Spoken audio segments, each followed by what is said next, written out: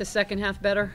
I thought we played our game in the second half. I thought we rebounded, we defended, held them to 25 points. I, I think the difference a little bit, uh, Natalie Achonwa getting the quick fouls, Jewell Loyd uh, getting on the boards in the second half, but uh, to turn that rebounding deficit, uh, even though it was only plus one, just really, really pleased with the, the determination I thought we had coming out of the locker room. Skylar was uh, amazing running the show and, and attacking, didn't let their press slow us down. We kept the pace that we wanted.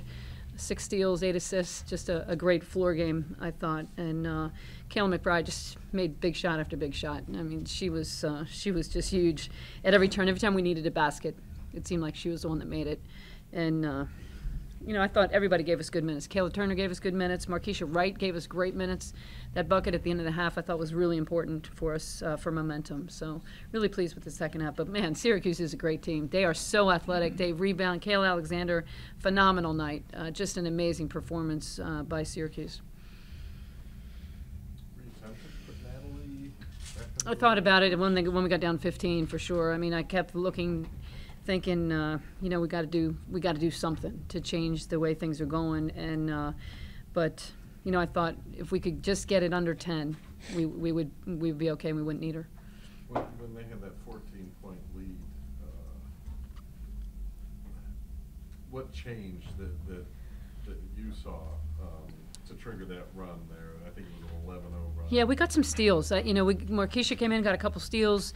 Um, we, we did a better job of being in our transition game because we didn't have to, uh, to have to face the press or, or the zone. We could really just go in an advantage break, and we're pretty good in that situation. Sky made some big shots. She had a couple threes during that run.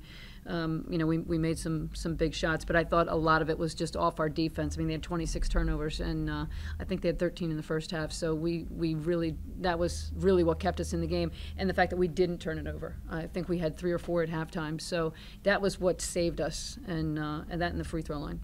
How do you interpret this game? Like a great test for the postseason, or scary that we could play so poorly in the first half? I'm going to go with the former.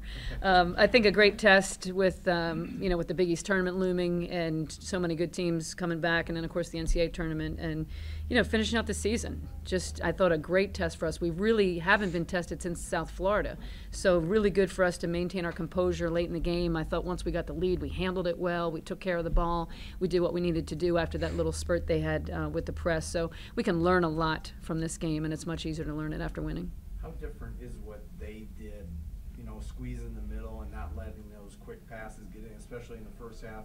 You know, in terms of a scouting report on you guys, is, is that relatively, for, around the league, is that something that they're trying, or that, that normally you're gonna see week in and week out? Well, they're the only team that zones, really. That- That's, that's about the first zone we've seen. We've seen a few matchups. We, we haven't seen a straight two-three zone, um, really, the, the entire Big East season. So we haven't played against it much. I think they knew what our plan was based on what we did last year.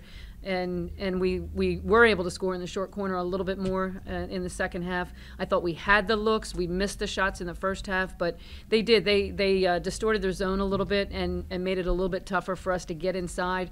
and and uh, that's when Kayla, I thought, did a nice job flashing into the, the Big East area. Do you think the emotions of seeing that affected at all? Absolutely. Yeah, I thought we were all affected by it. You know, we couldn't make a shot. We, uh, we just were, you know, just a little bit of emotion, a little bit trying too hard, a, a little bit of trying not to let it bother us. You know, I think, uh, yeah, I think it was tough in the beginning, and then we kind of went, "What the heck's going on?" And and everybody got a little jittery, you know, and then that's when Sky usually takes over and, and calms everybody down. Is this why you wanted to do it before? Yeah. I mean, was it part of the plan that you? Yes, yeah, yeah. We have enough going on that night. Next year, will it be? Next year it's going to be in November. Can you talk about the job uh, Achonwa did in the second half, especially on um, Kayla Alexander? Yeah, Kayla was, was really killing us, and we thought they were going to try to go inside, and I thought Markisha did a nice job at the end of the half on her, and then when Ace came in, she was really able to, to go one-on-one with her a little bit more. We didn't have to try to double down as much. She did a good job fronting. Uh, I thought, I think she was four for 12. Um, you know, made her first six and then went four for 12. So, you know, I thought we did a much better job when Ace was in the game. Talk about what it means to have Kayla knock down a shot like that in the second half to kind of push the double digits, what she's been through all year with the knee, with the elbow, just what that means for the team and you Yeah, that, was huge to see Kaila Turner. Just having her on the floor, I thought was great. And then for Sky to find her on the three-point line in a, in a situation where the basket was huge. I mean, going over to uh, to double digits, it was a big play. It was a huge shot, a great moment for her on senior night, and so happy that she's able to, to make that shot. Can you talk a little bit about the prolific scorer that Kayla McBride is? Just the, you know, the accomplishment, the way she scores. I'll tell you, um, I think she went over a thousand points. Um, congratulations. Thanks. Uh, and it was amazing. I mean, we were trying to get her. We were, we went with a four guard lineup for a lot of the game because we wanted to get Kayla in that Big East area, and she's so good at the high post. She's got such a great shot. Um, she really roamed around the zone and found the gaps and did a, a great job. But there was a couple of times early in the second half I thought we just we had to have a basket, and she was there, and uh, and she just did a great job with her jumper, uh, free throws. I mean, everything. It was a great game by her, career high. It's kind of been a trademark of her. It really has, To yeah. Those, Yeah. those. Absolutely. You know, she, we, we love to have her with the ball um, in any of those situations. She did a great job against the press. Sky got double teamed, threw it to Kayla, and she was able to, to lead the break and get a lot of shots that way, too. So, did a lot of great things today. Yeah, could you feel the emotions of the game? Did you, early in the game, did you feel like the team was tight or something was going on? Yeah, uh, you definitely felt like a little, uh, you know, kind of chip on our shoulder. We felt like we were playing for a lot, and um, I think that after they had their run, we kind of looked up and we were like, we just need to play our game. And when we came in the locker room at halftime, Sky really calmed us down, and she was like, you know, we, we got to get some stops, three stops in a row, you know, stuff like that. And she really brought us together, and we went from there. I thought another great thing about the game was the crowd. I mean, the crowd won the game for us. They there were so many times when they stood up and cheered when we we needed a stop, we needed a score, and uh, boy, they didn't let us down. That was a, a huge a huge benefit for us today having the crowd. Skylar, can you talk about the emotion? Did you feel it early on? I mean, yeah, I think I was. You, how could you not? You know, it was crazy in there tonight, and um, you know, we might have been pressing early a little bit, um, trying to get a good start. Um, but it was a physical game today, and um, you know, once we got down, we were just trying to. I was just telling the team, look, stay calm. You know, they went on their run. I think it was 22 to seven, and I was like, we're gonna win this game. We're just gonna do it the hard way because we didn't have a good start. And um, you know, when we came back and at halftime, I knew we were going to win the game because we, we, we broke even. You know, we were down three, but I was like, it's zero zero now, and uh, we're going to have a better start. And um, you know, that was probably poor game management on my part. I got to be more of a leader, so I tried to help help team out. And um, you know, I thought we did a good job of stepping the defense up. Did you, uh, do you feel like you had to put the game when you were at one point? Because uh, I think when you had the run, I think it was a 13-2 run, believe you scored nine of those points. Yeah, I think I think my job is just to be a leader. I mean, whether whatever we need to do to win, just just trying to be, um, you know, trying to manage the game.